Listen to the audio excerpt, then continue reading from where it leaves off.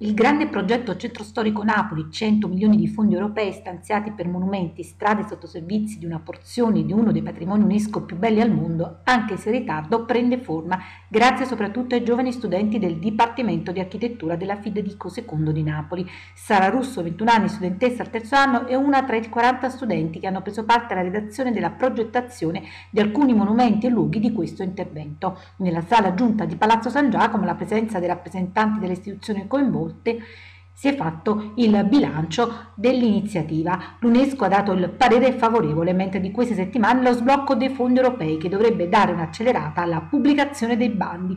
Dovrebbero essere pubblicate una serie di gare e dovrebbero entrare nel vivo i lavori per altri interventi. Voi avete progettato un monumento simbolo di Napoli? Sì, via Duomo. Via Duomo con la cattedrale. Che cosa prevederete? Prevederemo appunto di aumentare l'accessibilità e quindi la pedonalizzazione sia per il turismo sia per il carattere commerciale che Via Duomo presenta.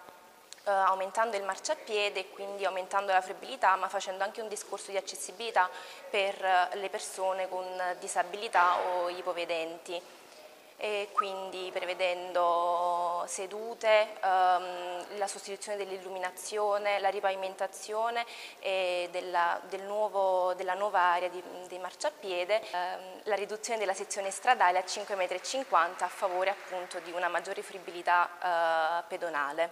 Quando vi hanno detto che avreste dovuto progettare la nuova via Duomo ci avete creduto?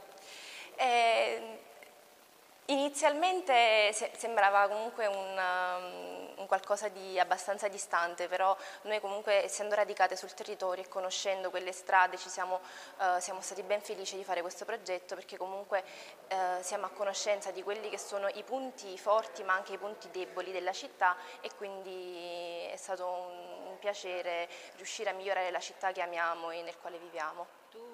Sicura che quando sarai laureata poi questo progetto sarà realizzato? Io spero di sì. Eh, diciamo le, sembra, le possibilità sembrano che ci siano e che siano buone.